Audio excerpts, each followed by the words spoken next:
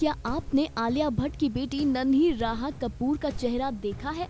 अगर नहीं तो चलिए हम दिखाते हैं। आपको दिखाते हैं कैसी दिखती है राहा कपूर। वेल बता दें कि आलिया भट्ट की तरह ही राहा का चेहरा गोल है। वह माँ की तरह दिखती है राहा। बता दें कि जब रणबीर राहा कपूर को लेकर जा रहे थे, उस दौरान राहा की तस्वीरें सोशल मीडिया पर वायरल हो गई थी। और अगर आप राहा को गौर से देखेंगे तो ऐसा लगेगा मानो छोटी आलिया हो। जी हाँ क्यूटनेस के मामले में तो राहा तैमूर और जय तक को टक्कर देती है। और क्यूट हो भी क्यों ना? जिसकी मम्मी आलिया भट्ट हो, उसकी बेटी सुंदर तो होगी ही ना। Final cut news desk